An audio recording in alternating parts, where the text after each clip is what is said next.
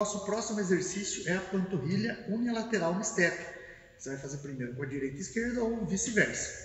A ideia é manter sempre a primeira perna a mais fraca, tá? Aí você vai fazer até a falha mais fraca primeiro, depois você faz a mais forte, o mesmo tanto que você fez a mais fraca. No meu caso aqui, a esquerda é a mais fraca, então o que você vai fazer? Vai apoiar o pé, o outro pé você joga no tornozelo, sobe lá na ponta do dedão, e desce até alongar. Sobe lá na ponta do dedão, desce até alongar.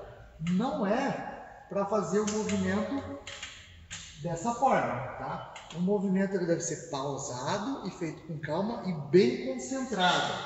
Desceu, alongou, subiu lá na ponta do pé. Desceu, alongou, subiu até lá na ponta do pé. Movimento com calma. Se na esquerda, que é o meu caso, conseguir fazer 15, 16, 17 no máximo, aí eu vou para a perna mais forte e vou fazer a mesma quantia da outra para tentar a longo prazo estabilizar e fazer com que as duas alcancem a mesma força e a mesma resistência. Ok? Então vamos para o próximo.